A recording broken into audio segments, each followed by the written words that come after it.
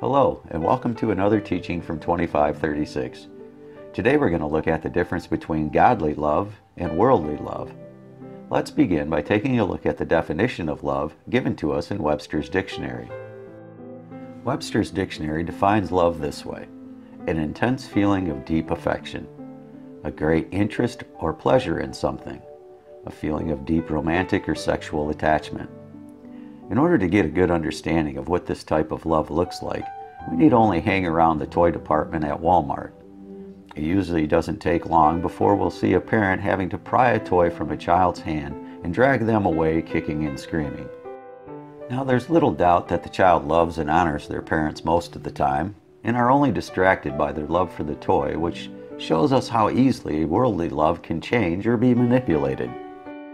Now, the reason for this is because worldly love is internally focused. It's emotional, temporary, ever changing, selfish, and easily manipulated. Because our love is internally focused and fueled by our selfish nature, we'll often hear a message of how we're to love God from the pulpit in an effort to keep us focused on the Father and not on all the other stuff we love. Some will even try to manipulate our love by entertaining us with passionate sermons about the Father's promises and prosperity. They use the promises of the Father as an incentive or encouragement. It's the what's in it for me that fuels our selfish nature. This is what we see with the child at Walmart. Their love for the toy was, at least for the moment, stronger than their love for their parent. This distraction caused them not to obey their parent when they asked, to the point where the parent had to get their attention another way, through discipline. Sadly, we're much the same way with our Heavenly Father. When we're compelled to leave our sin, far too often our love for our sin is greater than our love for the Father. So He has to get our attention another way, through discipline. The reason for this is simple. Like any good father, our Heavenly Father wants to instill His character within us. And like our earthly Father, our Heavenly Father does this through His instructions.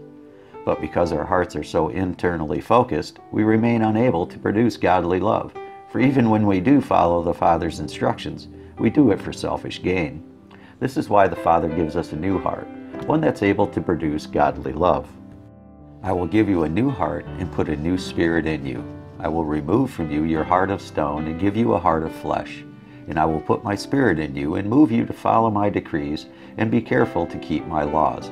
Ezekiel chapter 36, verses 26 and 27. The heart we receive is the heart of Christ, and it's through His heart and His Spirit we're able to die to our selfish desires so that Christ is able to express godly love in us and through us. For godly love is the opposite of worldly love. Godly love is externally focused, without emotion. It's permanent, unchanging, unselfish, and it can't be manipulated. But this type of love can only come through the indwelling of the Holy Spirit. Those who are born again are given the heart and spirit of Christ, which transforms our emotional, abstract, worldly love into physical, concrete, godly love. To be born again is to die to our selfish, worldly love and to love in a new way that benefits others. Our love is no longer aimed at Christ, but through Christ. In other words, instead of focusing our love internally by trying to hold on to Christ, our love is focused outwardly by sharing Christ with everyone we meet through an outpouring of godly action, just as the Father does towards us.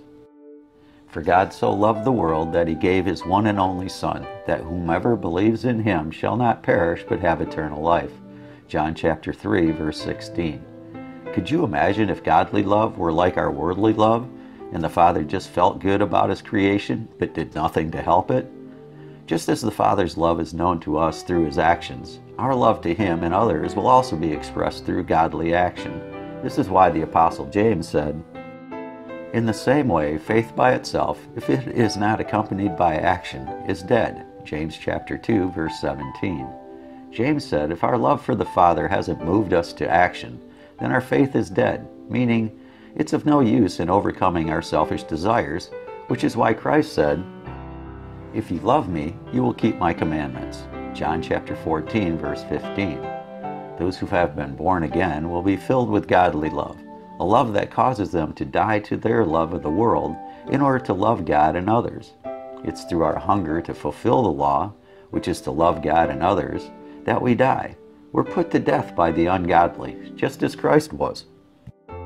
But if Christ is in you, then even though your body is subject to death because of sin, the Spirit gives life because of righteousness. Romans chapter 8, verse 10. It's in this way the law kills us. But even though we die, we live, because the Spirit of Christ lives in us and gives us life. For a more comprehensive understanding of what it means to walk in the Spirit and truth, get a copy of our new book, Learning to Walk in Spirit and Truth, a commentary of John's Gospel. It's available at Amazon Books and it's free to read on Kindle. Thank you, and may you be blessed in your pursuit of truth. Shalom.